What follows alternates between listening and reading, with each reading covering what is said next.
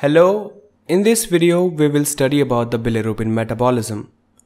The bilirubin metabolism begins with the red blood cells which have a lifespan of approximately 120 days.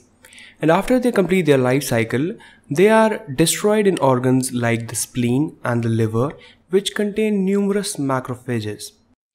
So it releases the hemoglobin within the red blood cells. The hemoglobin is then split into the heme component and the globin component. The globin is further converted into the amino acids and utilized in the body. The heme component is then converted into the iron and the biliverdin and this reaction is catalyzed by the enzyme heme oxygenase. In the next step, the biliverdin is converted into the yellow compound, the bilirubin, and this reaction is catalyzed by the enzyme biliverdin reductase. This bilirubin so formed is it in the unconjugated form which is not the water soluble form. So it requires albumin for its transport to the liver. In the liver, the bilirubin is converted into the conjugated form which is the water soluble form of the bilirubin and this reaction takes place by the combination of glucuronic acid with unconjugated bilirubin.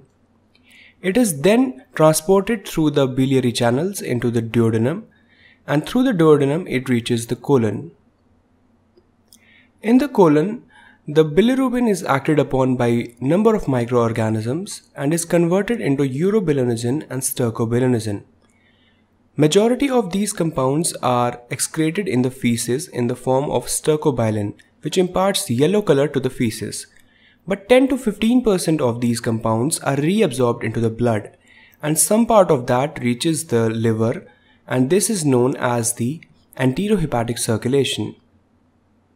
A few percentage of the reabsorbed compounds reach the kidney and they are excreted in the urine in the form of urobilin.